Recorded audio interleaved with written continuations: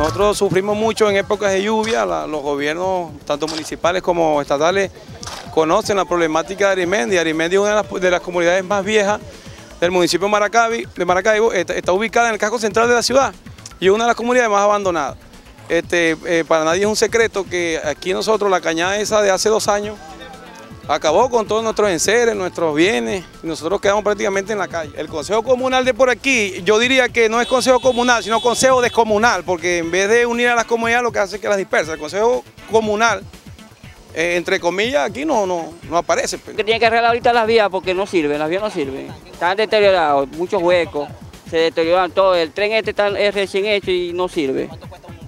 A este se le gastaron un millón y pico, se le puso todo nuevo y hay que mandarlo a ajustar otra vez porque no, no sirve. Hermano, eso está pero que no sirve para nada, puro hueco. Sí, la vialidad está muy brava, muy jodida.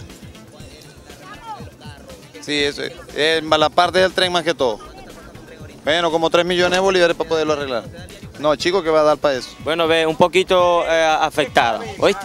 Nosotros pedimos que por favor mejoren las vías, las calles, eh, que arreglen las calles, hermano. Y un problema de, la inseguridad, que queremos mayor presencia policial en las calles, porque estamos viendo que cada día a los padres de familia le viven quitando la vida. Y esto es un llamado a los tres gobiernos, nacional, regional y municipal, que atiendan un poquito más de la inseguridad con lo- los padres de familia que salimos a, a trabajar a diario.